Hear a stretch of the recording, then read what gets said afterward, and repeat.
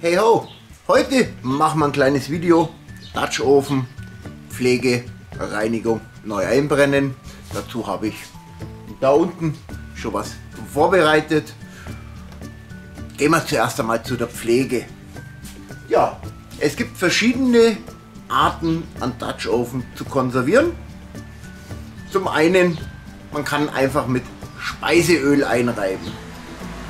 Eigentlich kein Problem, wenn man einen Dutch Ofen wirklich regelmäßig verwendet, dann ist das eine günstige, einfache, gute Möglichkeit. Dazu nehmen wir einfach Zewa, Küchenpapier und reiben den ein bisschen mit Öl ein. Das wäre die erste Möglichkeit. Die zweite ist, man nimmt entweder Flammospray, anderes Trennspray, ist auch alles so auf Ölbasis, funktioniert auch hervorragend, einsprühen und gut ist. Das wäre die zweite Möglichkeit. Dann die Möglichkeit, auf die ich jetzt umgestiegen bin. Ich habe mir jetzt die, beziehungsweise mein Schatz hat mir die bestellt, die Pflegepaste von Petromax. Und die hat den Vorteil, das wird nicht ranzig. Wenn man einen Dutch Ofen länger stehen hat mit Speiseöl, fangen die Dinger einfach zum Müffeln an. Deswegen brenne ich heute auch noch einen Dutch Ofen neu ein. Jo. Sollte ich eigentlich mit einigen anderen machen, weil früher habe ich nur mit Speiseöl gearbeitet. Nicht so gut. Aber jetzt hier. Gut. Haben wir den Pflege eigentlich schon fast abgeschlossen. Wir werden gleich noch einen Dutch Ofen einreiben damit. Den habe ich jetzt schon länger ein bisschen rumstehen gehabt, aber kein Problem. Einmal einreiben, gut ist. Und dazu gehen wir jetzt gleich mal hier runter. Also hier habe ich den Dutch Ofen, den ich ja vor geraumer Zeit verwendet hatte. Hier oben, also Deckel Oberseite mache ich eigentlich so gut wie nie. Warum auch? Es kommen immer wieder Kohlen drauf. Wenn ich hier mal so leichte Roststellen habe, einfach ein bisschen Öl, Spray drauf und fertig. Das ist die Oberseite. Dann nehmen wir Küchenpapier, reiben da einmal kurz drüber und dann hat sich das für mich mit der Oberseite, Außenseite schon erledigt. Innen drin sieht es dann schon wieder ganz anders aus. Dann nehme ich hier, hier sind wir, mein äh, Pflege, meine Pflegepaste. Habe ich mir übrigens alles in so eine kleine Tüte rein. Fahre da hier einmal leicht rein, dass ich ein bisschen drauf habe. Dann nehme ich das Ding, reib einmal den Dutch Ofen damit sauber aus.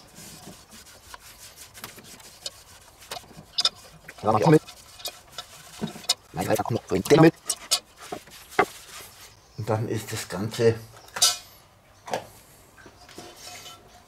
soweit schon wieder fertig, dass ich den Dutch Ofen auf die Seite stellen kann. Ich nehme mir immer so um, ja, wieder ein Küchenpapier, bolle das zusammen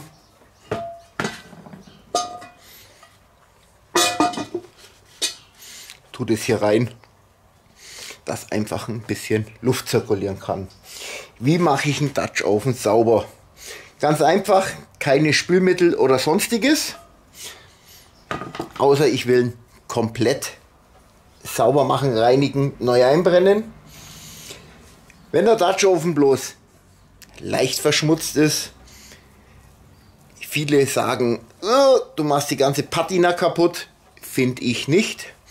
Ich habe hier einfach so ein Edelstahl-Küchenschwämmchen. Wenn man vorsichtig arbeitet, ist das gar kein Problem. Kriegt man die Reste gut raus. Habe ich dickere Kruste drin oder so, nehme ich das Kettenhemd, das Stück. Tja, welcher Ritter hat da ein Stück verloren? Keine Ahnung. Und rubbelt es damit raus. Damit kriegt man eigentlich die kompletten Reste raus. wie gesagt, nur heißes Wasser ausspülen, einmal leicht ausreiben, alles raus, fertig. Ja, damit wären wir eigentlich jetzt mit dem Thema so gut auch schon wieder, oder so gut wie auch schon wieder durch. Sollte jemand dazu Fragen haben, Leute, Kommentarfunktion unten nutzen. Der wandert jetzt wieder ins Regal. Der ist soweit fertig. Jetzt kommen wir gleich zu dem Sauhund da drüben. Ach so, ja. Ähm, gusseiserne Pfanne. Die liegt auch noch rum. Genau dasselbe Spiel. Einmal einreiben mit der Pflegepaste. Dann mache ich den Stiel immer noch mit. Und gut ist.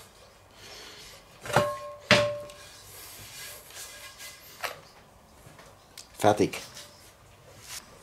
Tja Leute, wenn man aber jetzt einen Kandidaten hat, der so verölt ist oder von Haus aus nur mit Öl verwendet wurde, ich sag's euch, das Ding müffelt schon ganz gewaltig. Ja, was macht man da? Entweder stellt man gleich direkt in die Spülmaschine oder eben dann in dem Falle mit Spül Spülmittel.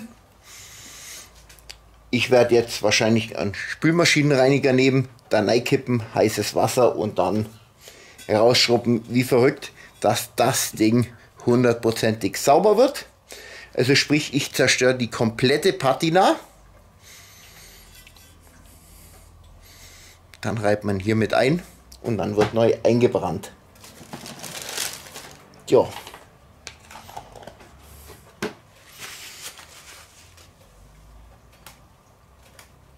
Soll ich jetzt zu dem Topf noch was sagen? Nein, da sage ich jetzt gar nichts mehr dazu.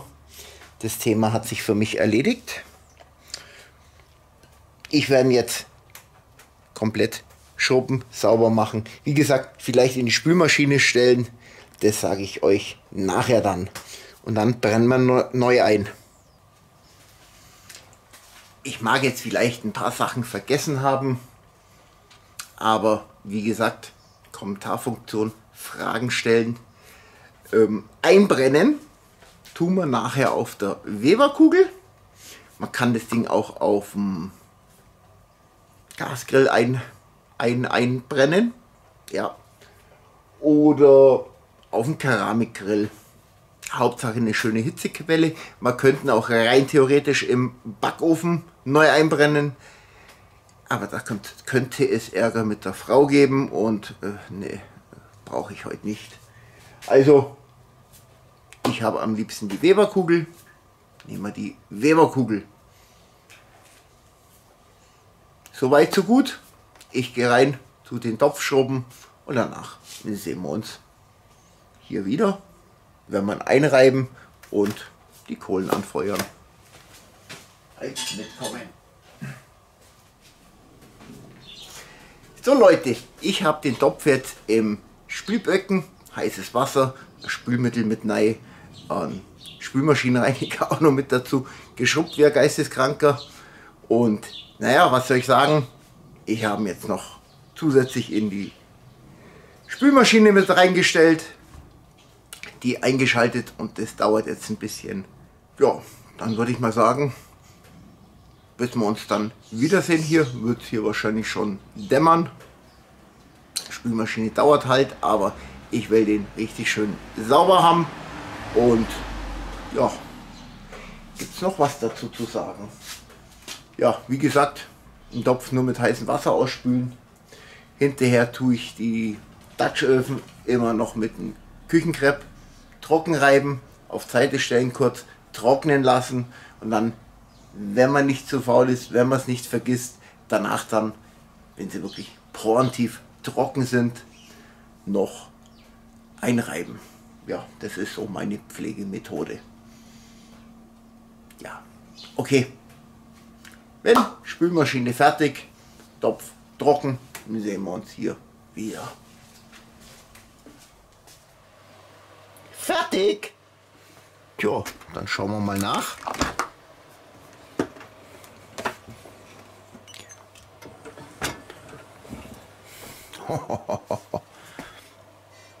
Wie sieht jetzt das Zeug aus?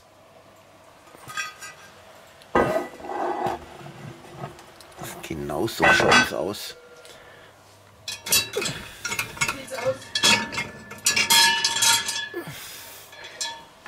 Oh, machen wir mal ein großes Licht an hier. Ja, die Patina ist weitgehend hinüber. Ich lasse ihn jetzt ein bisschen abkühlen, weil die Spülmaschine war warm. Und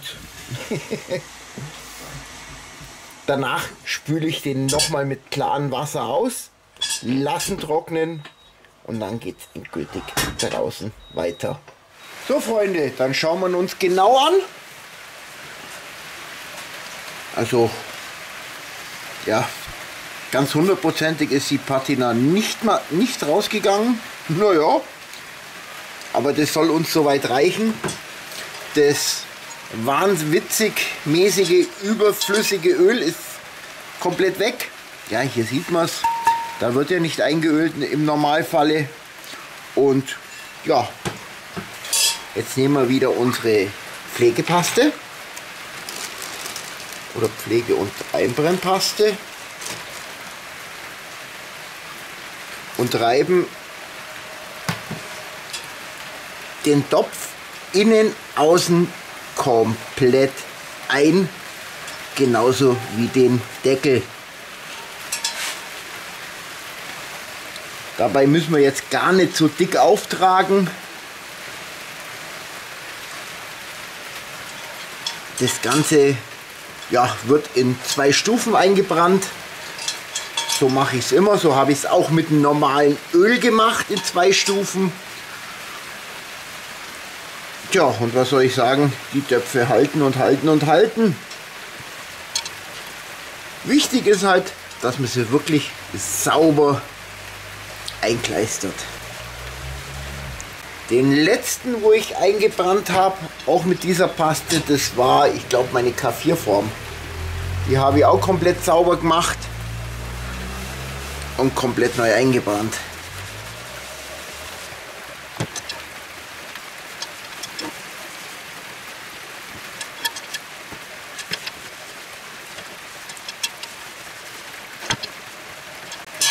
Also ihr seht, es ist auf alle Fälle mit ein bisschen Arbeit verbunden, aber es lohnt sich definitiv.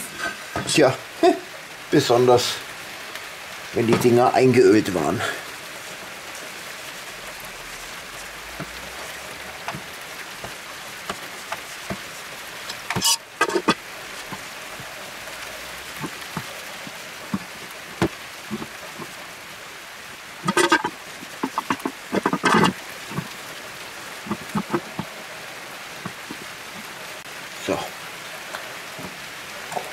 Seite legen wieder. Und jetzt müssen wir bloß noch warten, bis die Kohlen heiß sind. Dann können wir auf den Grill feuern. Hier im Anzündkamin habe ich jetzt ja, fast ausschließlich Bambuko vom Mac Briquette. Und die verteile ich jetzt so im Halbkreis dann hinten rum. Und vorne stellen wir dann den Topf rein. Ziel ist es, sind in etwa, ich würde mal sagen, ja, so um die 200 Grad. 250 Grad wären ganz gut. Ja, genau. So, hintenrum verteilt und boah, Leute, ich sag's euch, Grundremmingen ist er Dreck dagegen.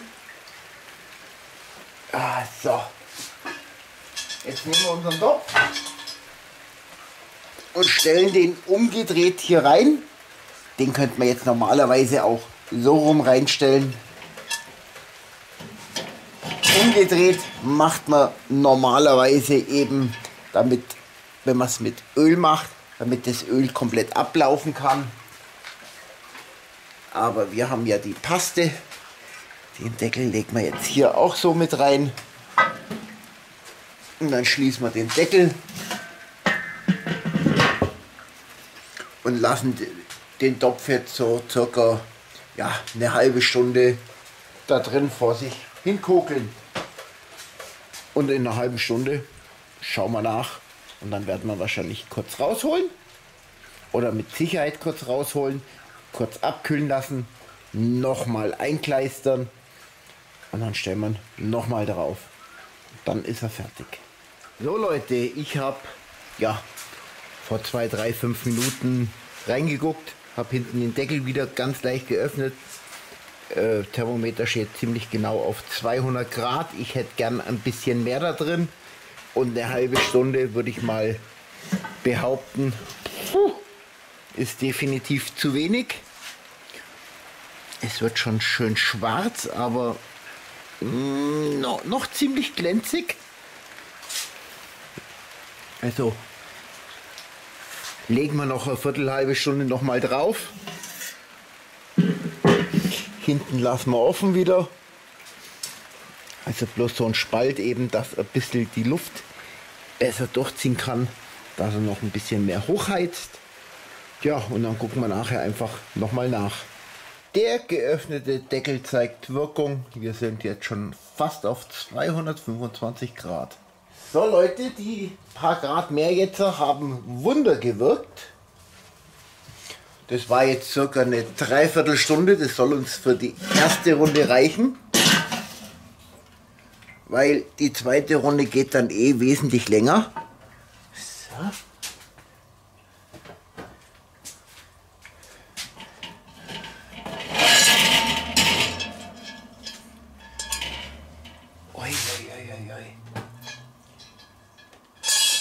So, also ich werde hier jetzt noch ein paar von den heiß, heiß, heiß, heiß, heiß, heiß Atomstäben dazulegen und die schön anglühen lassen. Aber wir gehen jetzt dann rüber zum Topf. Also noch ist er warm. Den lassen wir jetzt abkühlen, so dass ich ihn nachher noch mal einreiben kann. Man sieht hier schon, wie sich die Patina bildet. Und ja, wie gesagt, wir sehen uns dann wieder, wenn ich ihn nochmal einreibe. Kohlen habe ich drüben schon drauf und ja, abkühlen lassen. So Leute, heiß ist das Ding immer noch, aber nicht mehr so heiß, dass ich ja, nicht einschmieren könnte. Jetzt sehen wir uns noch mal was von dem guten Zeug. Ja, ich glaube, ich ziehe mal lieber noch einen Handschuh nebenbei an. Weil so heiß ist es dann doch wieder. Und dann schmieren wir das Ganze einfach nochmal ein. Und das Schöne ist jetzt nämlich, wenn er schön warm ist, verläuft es auch richtig geil, wie man sieht.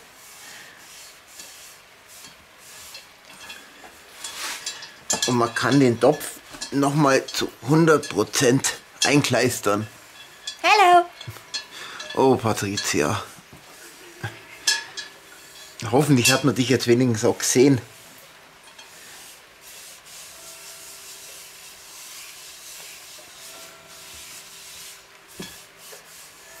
So. Das ist, weil wir jetzt 14.000... Man sieht dich nicht, man sieht dich nicht. Das ist... Soll ich meinen Kopf da Warte rein- mal, jetzt kannst du deinen Kopf da drunter legen. Das ist, weil noch ein bisschen näher, noch ein bisschen jetzt. Das ist, weil wir 14.000 Abonnenten haben. Tschakka. Das ist ein Vogel. So. Also auf der Rückseite sieht man auch schon, dass sich ein bisschen Patina gebildet hat. Und ihr seht, wenn der Topf noch warm ist, kommt man richtig sparsam mit dem Zeug aus. War ja auch toll, ja. Ja. Aber es ist sehr sparsam und sehr langlebig oder äh, sehr ergiebig. So, noch ein klein bisschen, dass wir hier gleich einmal wieder gute Schicht drauf kriegen. Und dasselbe natürlich wieder mit dem Deckel.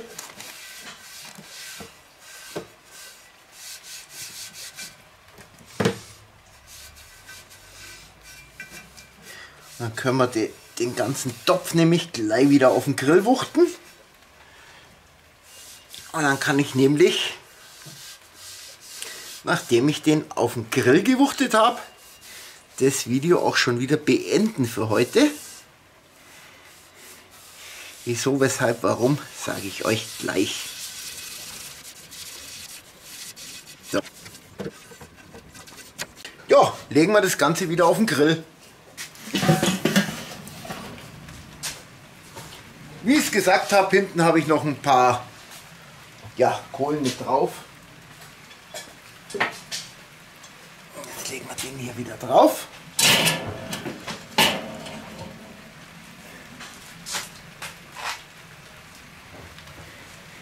Den Deckel mit dazu.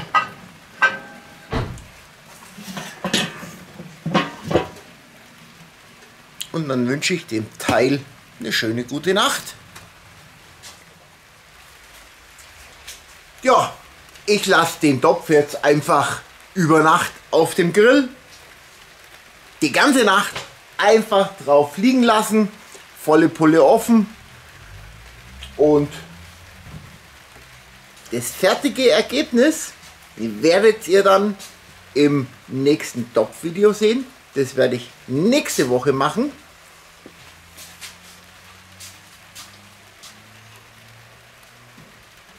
Was guckst du da jetzt? Naja, was wir da drin machen, weiß ich noch nicht. Schmeiß mal mein Stativ nicht um.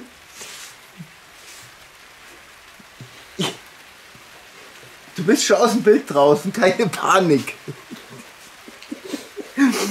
ja, also, ich werde nächste Woche ein schönes Topf-Video machen mit dem Topf, weil danach ist für mich persönlich die Einbrennerei erst wirklich erledigt, wenn man das erste Gericht drin gemacht hat. Ja, in diesem Sinne, Leute, wir sehen uns und das nächste Video von mir wird ein Junkie unterwegs sein.